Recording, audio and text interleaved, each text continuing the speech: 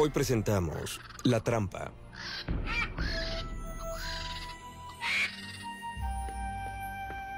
Yo sé dónde hay pan. Acompáñame.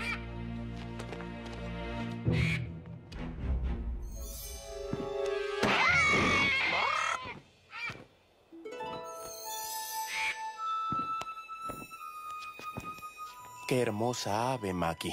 Gracias, Uciel. Creo que debes sacarla de Jerusalén antes de que acabe en una olla. ¿Olla? ¿Olla? ¿Están tan mal? ¿Los puedo ayudar? Bueno, si solo traes un saco a la vez, no alimentarás a más de... ¡No, no lo hagas!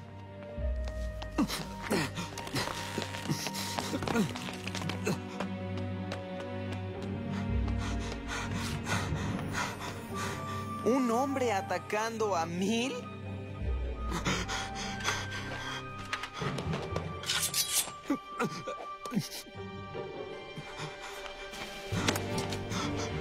Hagan lo que quieran, pero primero denme de comer.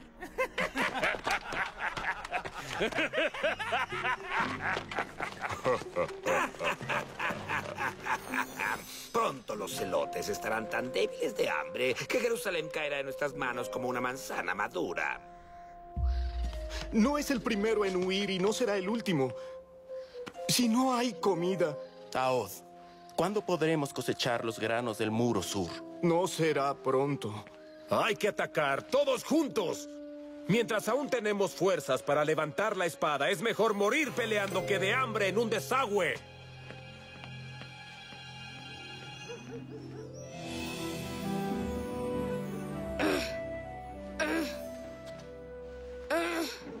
Ese era el último, padre.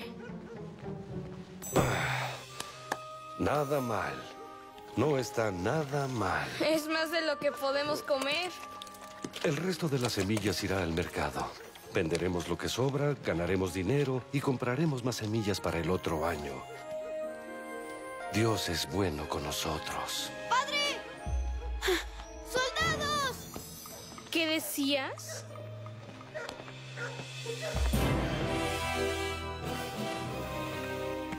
¿Puedo ayudarlos? Eso me gusta, Brutaco, una actitud cooperativa. Claro que puede ayudarnos. Yo soy Tobías, asistente especial del general Tiberio.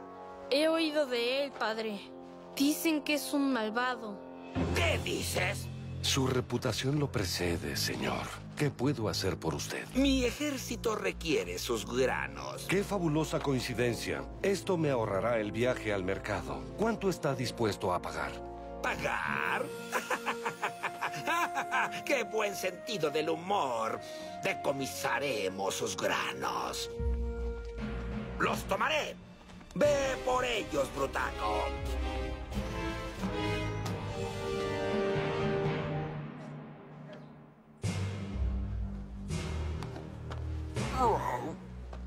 Jesús dijo, debemos rendirle al César. Pero no recuerdo que mencionara a nadie llamado Tobías. Solo les queda un día de pan y la cosecha llegará en un mes. Lo sé. Le pasan cosas terribles a Jerusalén y... ah, ah, Buen día, Isaac. ¿Quién es?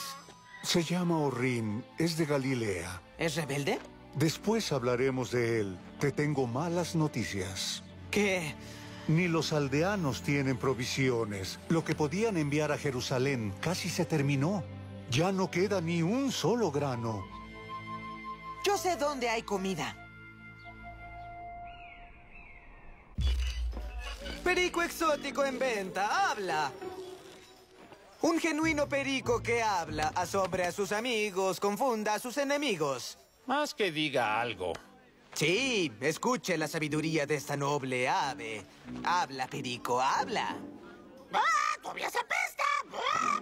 ¿Estás loco? ¿Harás que me maten? ¿Por qué crees que trato de venderlo?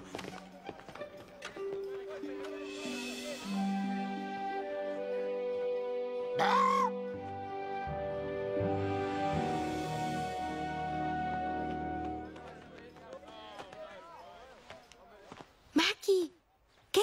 haciendo aquí?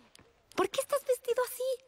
¿Sabes en cuántos problemas podrías meterte? Por eso me vestí así, para no meterme en problemas. Muy bien, ya son dos de tres. ¿Qué haces aquí? Es mejor que no lo sepas. Maki, Portia confía en mí. ¿cuándo no confío en ti? Eres la mejor, en verdad. Ten cuidado, Maki. No sé qué harías si algo te pasara. Lo tendré, Portia. Te lo prometo.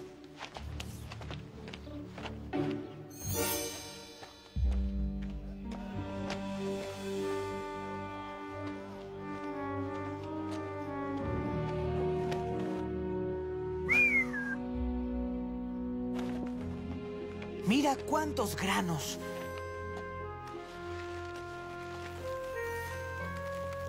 ¿Qué hace aquí un vendedor de pericos? ¿Maki? Lucio, ay, me asustaste. Debes asustarte.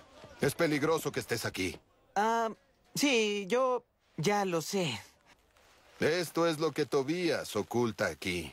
¿Todo es de Tobías? Bueno, los aldeanos a quienes robó creen que es de ellos. Si tienen suerte, Tobías se los venderá después. Se necesita un milagro para sacarlo de aquí, pero esto podría alimentar a mucha gente hambrienta. Como en la historia de Jesús y sus amigos cuando estaban hambrientos. Y llegaba tanta gente que no tuvieron tiempo de comer.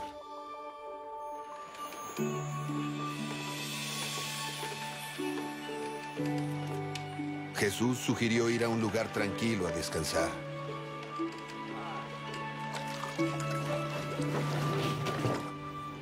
Todos se preguntaban a dónde se dirigía la barca y ya los esperaban cuando llegaban. Aunque cansado, Jesús no quiso decepcionar a la gente y les empezó a hablar del reino de Dios. Les dijo que Dios los ama a todos, judíos, griegos, hasta a los soldados romanos. Fue valiente porque muchos de los presentes los odiaban. Sean buenos con sus enemigos. Traten a todos como quisieran que los traten a ustedes. Pero un discípulo dijo, todos tienen hambre. No hay nada aquí. Envía a la gente a sus granjas y aldeas para que coman.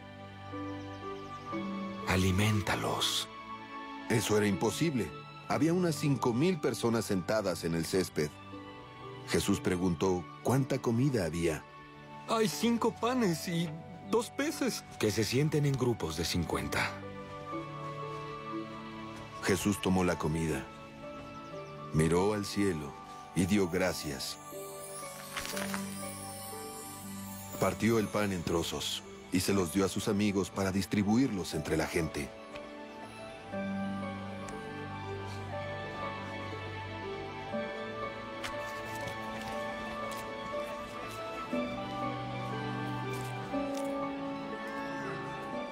Comieron todo lo que quisieron y quedaron 12 canastas con sobras.